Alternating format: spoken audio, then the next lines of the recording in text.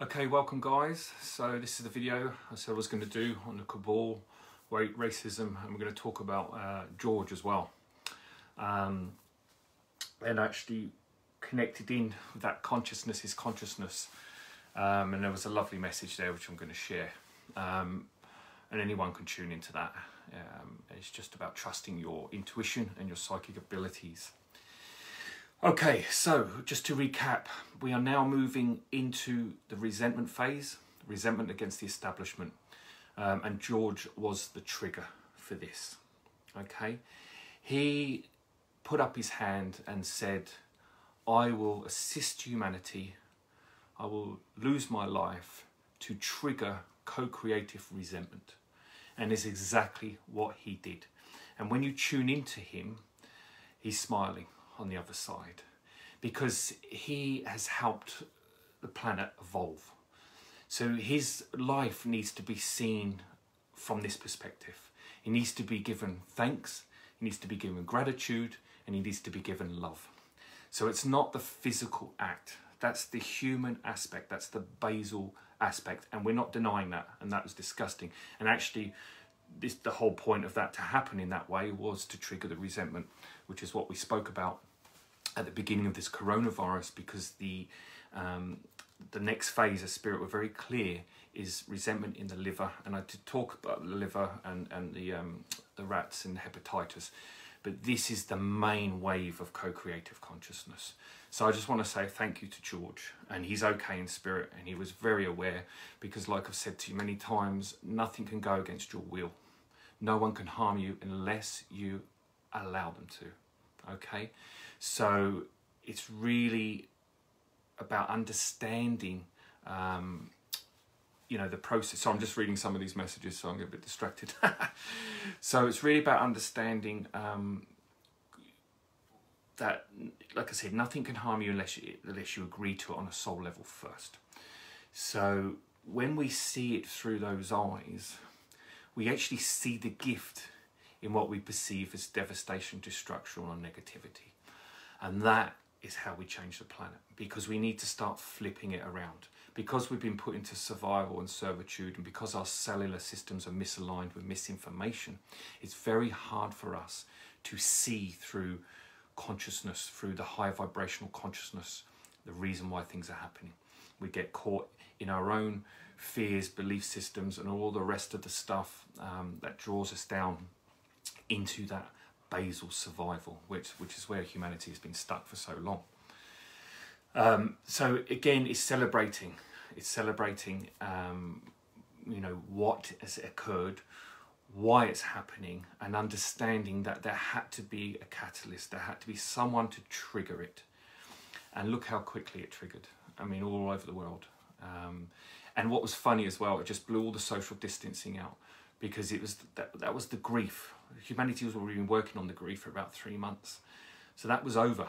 And you can now see the propaganda machine on the news still trying to perpetuate this whole coronavirus. Um, and now it's the resentment. So everyone just flew that out the window. And they're not going to say anything because this power that's being released in humanity is so powerful and it's being met with light and consciousness and it's just fueling it. Um, and like I said, we're at just at the infancy of this now. It's just beginning. So um, it's really about um, letting go of seeing everything through 3D eyes anymore. You can't, you can't, you can't look through 3D eyes anymore. It's impossible because if you do, you're going to be magnetized to the fear, propaganda, and misinformation. So this is simply uh, setting out the intention to align to this. You know, um, we've all been really sleeping very heavily last few weeks. Um, that tiredness, deep dreaming, is because what's happening is we are doing a lot of work behind the scenes now. As I said to you last week, we're just the tip of the iceberg, the physicality. Mass consciousness underneath everything is moving through us. Um, so we're really only aware of a, of a, very, very small percentage. So when we go to sleep, we travel, obviously. So we come out of our physical bodies This is your out of body experiences. Some people just sit around the body, some people stay on the astral plane, and some people, you know, travel. They go to the um, universities, they go to schools, they go to, you know, don't forget, life beyond here is reality. It's, it's thriving in, in many different spaces. Mm. So we are constantly learning, growing. Um, so at the moment, what's happening is there are a lot of groups merging together in their in their um, emotional mental bodies or their spirit bodies um, and they are creating force and energy behind the scenes. So when there's a catalyst in the physical, all the souls rise up immediately because they've already planned to do it, you see. They're already sitting while they're sleeping, organizing, right, this is the next phase, this is how we're going to do it. You know, there's direction from consciousness, all the higher light beings that are coming in, they're all helping. So there's this whole convention going on behind the scenes. So this is what you're doing while you're going to sleep. So the more lucid dreams you can have, the more consciousness you'll be aware of, and then more understanding of this. But it, it, a lot of people can't remember the dreams, and that's fine. Just know that you are participating in an unconscious state more than you are on a physical level at the moment. And this is going to be continuing for the next few months at least. So, again, it's not about action now. It's not about going out, what's my purpose, what do I need to do? Just it's really about just being focused, being in the moment, being spontaneous, living with the joy, following the joy and excitement because that is the soul energy and not trying to fix everything. Just get out of your way. Do your own healing, of course, because everyone is bringing a lot of stuff up in everyone. So it's about really being conscious of, of what's going on in your own body. And don't make too many plans. And yes, we've been forced not to make too many plans because there's not so many places we can go. So again, just be spontaneous. Just wake up in the morning. If you had like A, B, and C to do and you don't feel like doing A, B, and C when you wake up, and not through laziness, obviously, but because the soul goes, right, I want you to go here or go and do that or have a phone call with this person. Just do it because that's when you're going to learn the most for that day. So just follow the joy, follow the spontaneity, and allow yourself just to be in the moment because that's how you're going to receive the consciousness. All right. So what's happening now, as as most of you probably aware, you know we're moving up into the right hand quadrant where the, the vibration's changing. So fourth density consciousness is vibrating in this quadrant the planet's moving. So what it's doing now is it's breaking up 3d so all the heavy attachments of the emotional traumas and all the stuff is starting to break away. So you're going to get people that are going to say stuck because they don't want to move on and then you're going to get all this. So there's going to be a rift between um, 3d and 4d anyway amongst humanity. But that's fine because they've agreed to do that on the soul level and that's okay. And they will live their experience on another planet another time. The point is is that be very very conscious that this wave is now it's just just about to take off. So there's going to be another huge wave of energy coming. Um, so really really really focus on what you're holding on to from the past and just let it go. Because when this energy comes in it's going to come in around august as well. Um, and it's going to whew, it's going to wipe us wipe us away and it's going to be fantastic um, if we're vibrating at the right level so um, just be conscious in the next two months just to really integrate into yourselves, all right? Um, because what's happening, and the reason why, the main the main point is is that we, we, we have four levels of being. We have the physical, we have the feeling, receptive, intuitive self, we have the heart, and then we have our spirit. Okay, so these four need to be in alignment. And this is when these four in alignment, that's the heaven on earth analogy. That's when our consciousness is grounded into our body. And that's when we are multidimensional, we can see everything. Um, obviously, there's going to be different levels of that as we as we go through 4D because we're just in the infancy. Um, so don't expect all these miracles straight away. Just just process your physical and emotional bodies because what's happening is, you know, you see these people walking down the street and they're very very dangerous. And you know they talk about bloody you know these negative groups doing all this, doing all that. But to be honest, the, the man or woman walking down the street that has a closed down heart is the most destructive on the planet. Because what's happening is when the heart's closed, this is what turns people against their families, turns them against their loved ones. This is what causes a lot of rift in cultures and people because the spirit, which is a higher form of consciousness, has to ground into the heart chakra. Now, if the heart chakra is closed, there can be no grounding. So, what happens is the spirit moves away, and then we become sort of a bit mindless. And this is what's happening around the planet: is these people don't have this connection. because the feeling body, which is the emotional body, has to be active, and the physical body has to be active in the feeling body first. Okay, so there has to be a, integration between the two because only when the feeling body is active and, is, and the energy is allowed to move through the physical body, which will then heal ailments, the meridians will start to work properly, which is the invisible bones of the body. It's our foundation. Now, when they're working properly, they can receive consciousness uninterrupted. Then the heart chakra will open. So, really, the only thing to be focusing on now is the emotional body. Because the emotional body it affects the mental body anyway. They're one and the same in some ways. So just work on the emotions because once the feeling body is working correctly, it can receive consciousness from the soul. Okay, and this is when all your ailments, your lumps, your misalignments, everything going on in your physical body will start to dissipate because it's just emotional charge that's just sitting there. So you need to talk to it as well. So you get a lump somewhere, talk to the lump. Hello, lump, how are you? Thanks for being here. What are you? Be inquisitive. Don't just, oh God, I've got a lump, freak out. Be inquisitive, ask it, talk to it because it will tell you what's going on. Okay? The body is amazing, it's hugely intelligent and it will talk to you. Everything has consciousness. Okay? Everything. All right, so what I want to do is I'm going to just, I'm going to, um, it's quite interesting actually because um, through, through my life I've had very, look, we've all been destructor gods in many lives. Now we're now learning to become creator gods, and this comes this this saying comes from Aman Min, which is um, who channels through Jennifer, who I've spoken about before, and I've put a lot of his stuff in my book as well, some of his channelings, and married it up with my own stuff and the Viridian consciousness that I channel.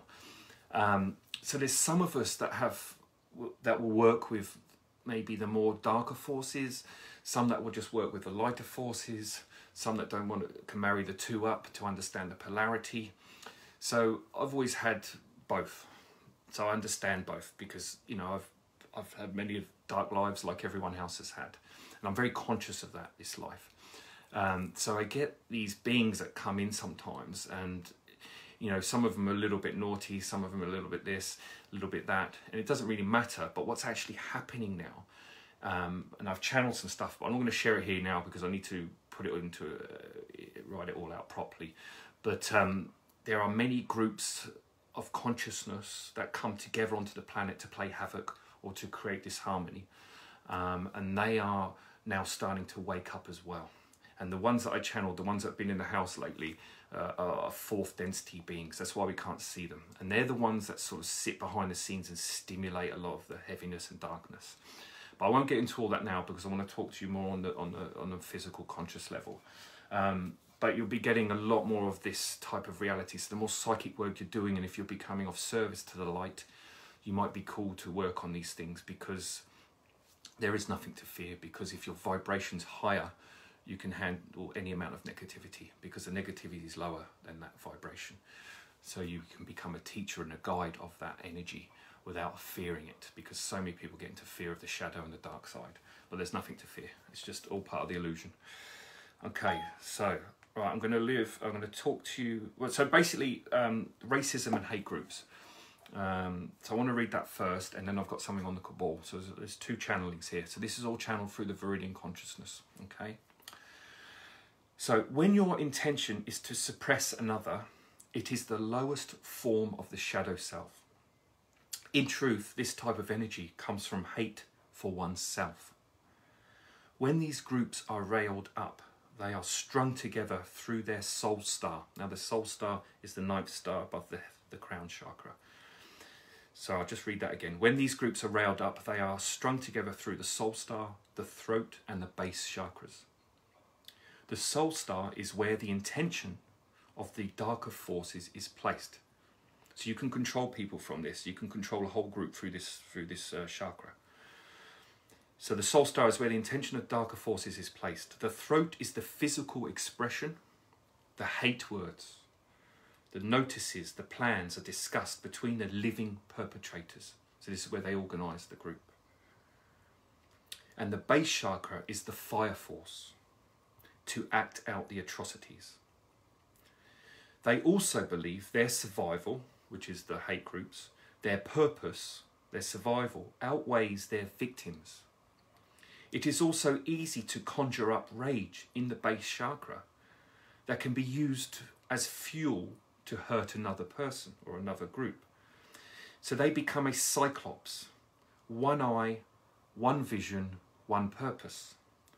This stops them from feeling anything towards another with any remorse. They are the Borg, you know, the Borg from Star Trek, com- controlled by one central computer. You have polarity.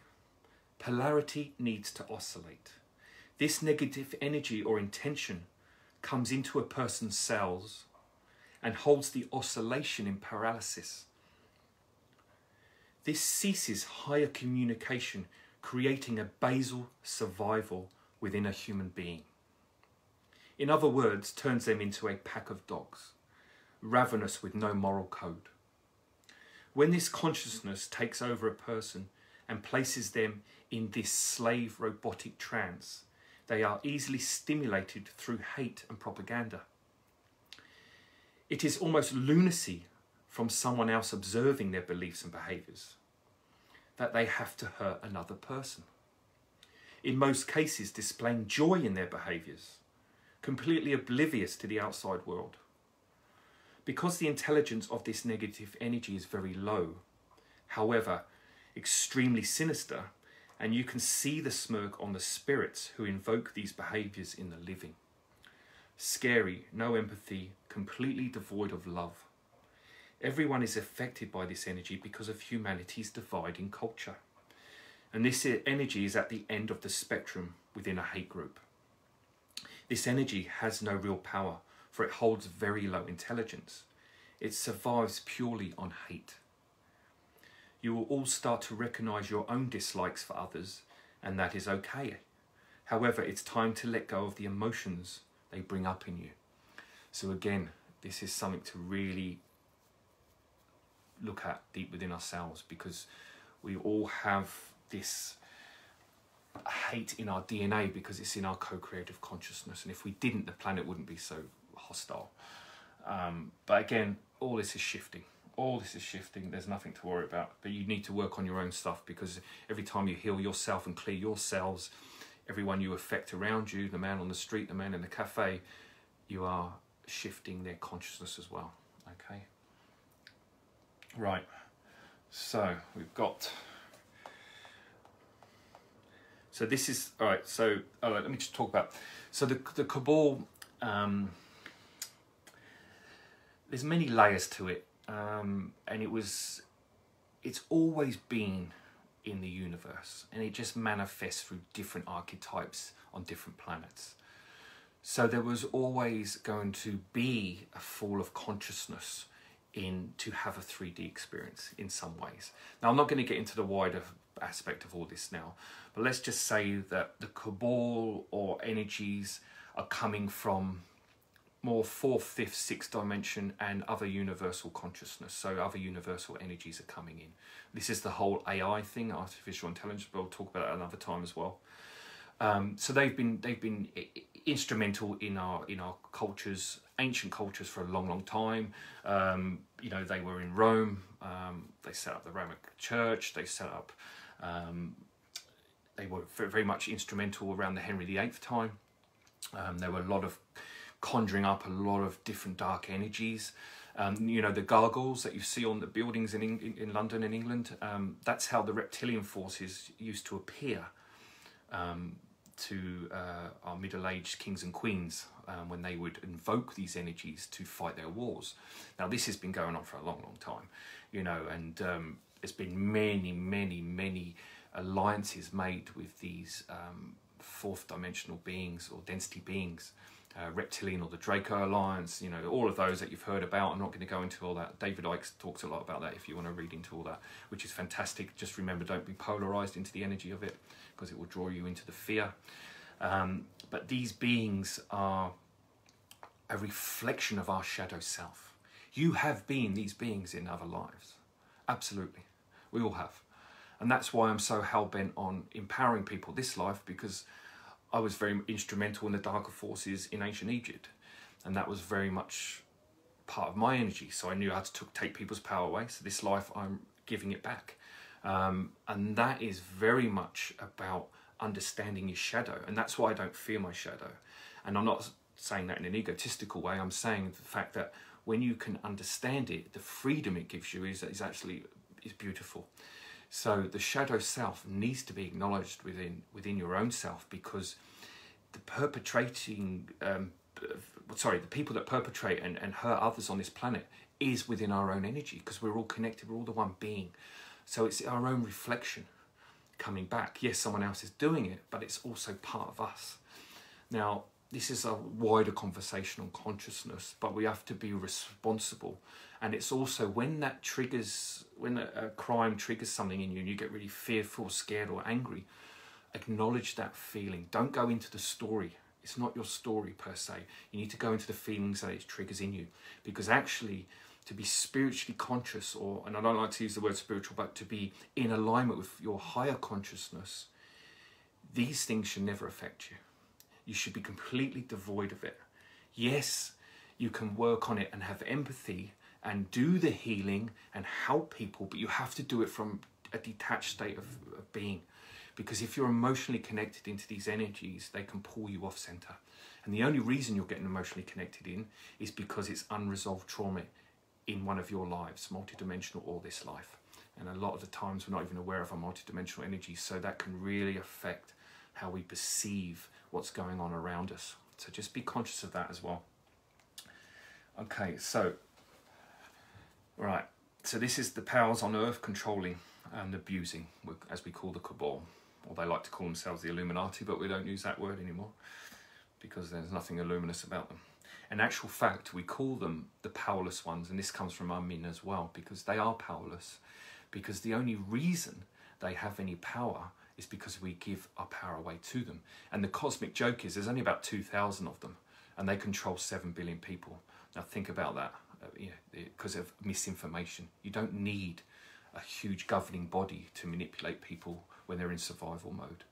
So this is a you know this is a, a bit of a joke from from the from the other planet point of view.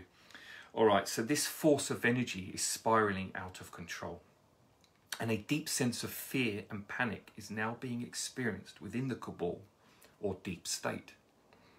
They are starting to witness their own horrendous crimes through their own feeling bodies.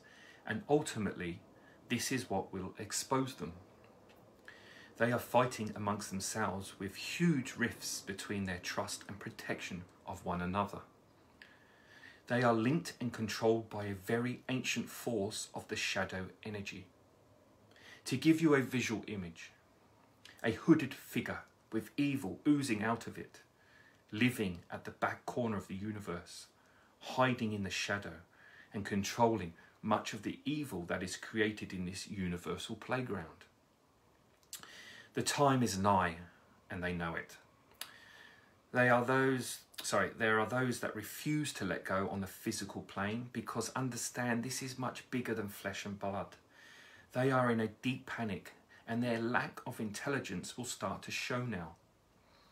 They have only controlled you through the feeding of misinformation that has kept you misaligned with your truth.